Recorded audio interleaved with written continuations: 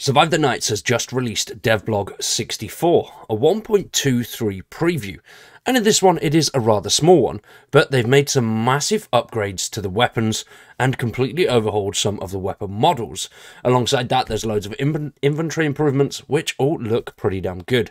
These inventory improvements centre pretty much around the weapons themselves and they look nice. I like it. The weapons look a hell of a lot sleeker and I'm quite excited for this one. Now, if you are a fan of Survive the Nights, make sure you subscribe to the channel, drop a like in the video, and stick around for more Survive the Nights content. We do jump on it quite a bit, especially when there's new updates and new content to be played. Absolutely love the game. It is one of my favourite zombie survival games out there. If you haven't checked it out yourself, definitely do so. The links are in the description down below. And if you're new to the game, we've got a whole series full of tips, tricks, and all sorts of good stuff if you do want to check that out. Now, the team have said that they've been busy for some time getting ducks in order, fixing some rather boring backend and network stuff, and they've also taken the time to begin a cleanup process on the actual project itself, in preparation for some additional workshop implementation and a future release. Along the way, we've started the polishing process, and a big part of that is replacing some of our old weapon models. The coming update will focus heavily on weapon improvements. So the weapon models and swaps in general. Model swaps aren't a massive task, but rather a tedious one, and they can be very time consuming. Andre has made some great progress, and we've swapped out four of the current models the Rouser Rig, the FRKS, and the R6084. So R6804, I always get that wrong, which is the sniper rifle, and the Lola and Gary, and then finally the Bateman. So the Lola and Gary is the 45, the Rouser is the 9mm, the FRKS is the auto shotgun, and the Bateman is the big beastie revolver. Along with these model swaps, we've made improvements to animations and animation timings, speeding things like reloads up just enough to make general gameplay feel a little bit more fluid. We've also introduced a new audio sets for quite a few of our weapons, and they sound much more lively, especially the Bateman. So I played a couple of bits in the background, but this here is what the new FRKS would look like. So the old FRKS is the one at the top, and then the new one's the one at the bottom. I absolutely love that. It gives much more of a modern and sleek feeling, especially for an auto shotgun. It just looks a hell of a lot nicer, and I think a lot crisper, which is what an auto shotgun should look like. I think the old double barrel shotgun uh, the one at the top represents that a little bit more.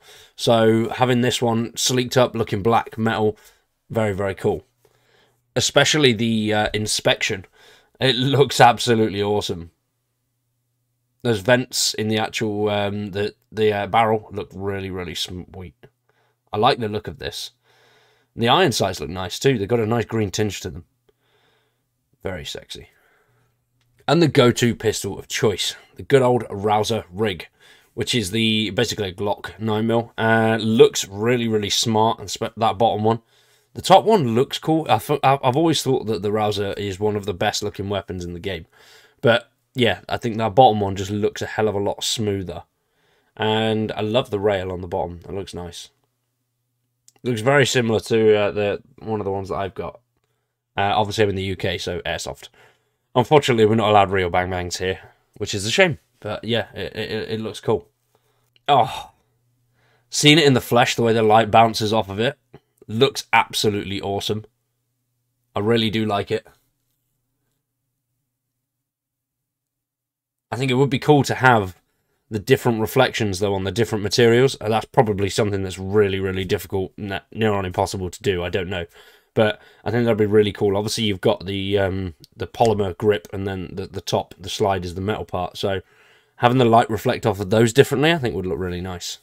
And then also for the weapon attachments with addition of new models we'll be improving the attachment versatility. Basically, if it fits, you'll be able to put it on the weapon for the most part. Included with the expansion on what weapon attachments can be used, we'll be introducing two new attachments. Full auto firing mechanisms will now spawn for some weapons in the game. The Rouser Rig, the ARG, and the FRKS will get the option to accept a fully automatic mechanism.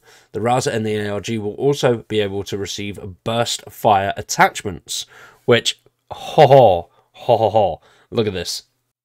Damn. I don't know what goes on with the video at the end there. I can't get a, a clearer one, which is a shame. But it's, it's just nuts absolutely nuts. And I like that they're attachments as well, so you can add them into different weapons. Very, very cool. Alongside that, they've improved the inventory when it comes to weapon attachments. And the improvements in the next build will feature some big ones.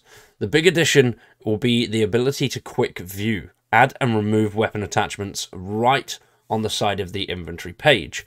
So you'll be able to just attach them without actually having to find the weapon or do anything along those lines, which is just going to make things so much simpler and so much quicker, especially when you're in a bit more of, um, you know, a, a close encounter.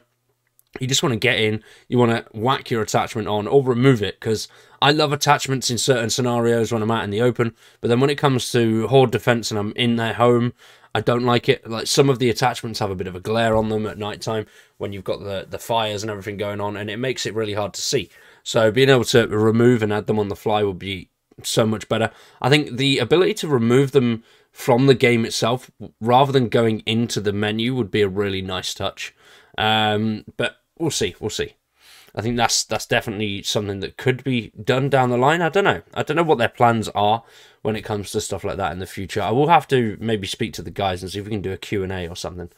But next week's blog is going to be a good one because they're going to be showing some more swapped weapons and a brand new weapon, the MK4 or the MP5 which very very exciting. Now, if you are a fan and you've liked what you've uh, you've seen so far, then definitely check out all the links in the description because there is loads of good stuff there for Survive the Nights. They regularly have sales. Uh, it's not on sale at the moment, but it is at the moment twenty ninety nine. So not twenty nine ninety nine, twenty pounds ninety nine pence. So yeah, uh, you know, relatively cheap, which is good and it is a good game. It is fun. I've had hours and hours and hours of content and just loads and loads of fun out of it. It's great to play with friends as well. Me and a few of the guys in Discord, we've jumped on this quite a few times and we've done a load of streams with it. We had loads of fun. So definitely worth checking out if you're a fan of zombie games.